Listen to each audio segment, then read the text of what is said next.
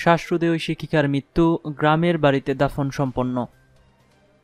নাটোরের সেই কলেজ শিক্ষিকা খায়রুন নাহারের মরদেহ ময়নাতদন্ত শেষে গরুদাসপুরের নিজ গ্রামের বাড়িতে তাকে দাফন করা হয়েছে। তিন সদস্য বিশিষ্ট গঠিত মেডিকেল টিম থেকে জানানো হয়েছে শ্বাসরোধের কারণে তার মৃত্যু হয়েছে। রবিবার রাত আটটার দিকে জানাজা শেষে তাকে দাফন করা হয়। জানাজায় আশেপাশে হাজারো মানুষ অংশ নেয়।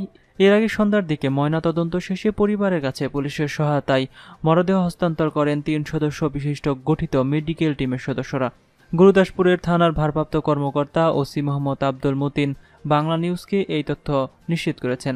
তিনি বলেন, ময়নাতদন্ত শেষে তার মরদেহ গ্রামের বাড়িতে নেওয়া হয়। সেখানে জানাজা শেষে তার মরদেহটি দাফন করা হয়েছে। এদিকে গঠিত মেডিকেল টিমের প্রধান নাটোর সদর হাসপাতালের ভারপ্রাপ্ত আবাসিক মেডিকেল অফিসার ডাক্তার সামিউল ইসলাম শান্ত রাতে বাংলা নিউজকে বলেছেন, শিক্ষিকা খায়রুন নাহারের শরীরে কোনো আঘাতের চিহ্ন পাওয়া যায়নি, শ্বাসরোধের কারণে তার মৃত্যু হয়েছে। তবে ভিসেরা রিপোর্ট এলে আসল কারণ জানা যাবে। ইটু সদর থানার ভারপ্রাপ্ত কর্মকর্তা ওসি নাসিম আহমেদ জানিয়েছেন, শিক্ষিকার মৃত্যুর ঘটনায় তার চাচাতো ভাই ইউনুস আলী একটি ইউডি মামলা করেছেন। ঘটনাটি স্পর্শকাতর, তাই গুরুত্বের সঙ্গে বিষয়টি খতিয়ে দেখা হচ্ছে। শিক্ষিকার স্বামী মামুন পুলিশ হেফাজতে আছেন, তাকে জিজ্ঞাসাবাদ করা হচ্ছে। প্রসঙ্গত, খুসবিপুর এম হক ডিগ্রি কলেজের সহকারী অধ্যাপক খায়রুন নাহার প্রথমে বিয়ে করেছিলেন রাজশাহীর বাগা উপজেলায়। প্রথম স্বামীর ঘরে একজন সন্তানও ছিল। পারিবারিক কলহে সংসার বেশি দিন টিকিয়ে রাখতে পারেননি।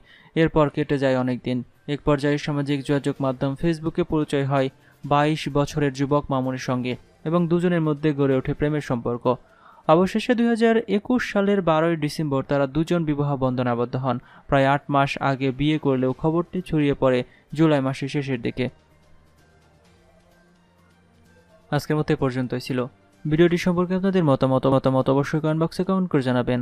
বিশেষ সর্বশেষ নিউজ সবার আগে দেখতে আমাদের চ্যানেলটি সাবস্ক্রাইব করে পাশে থাকা বেল আইকনটিতে ক্লিক করে রাখুন। এতক্ষণ সাথে থাকার জন্য ধন্যবাদ সবাইকে।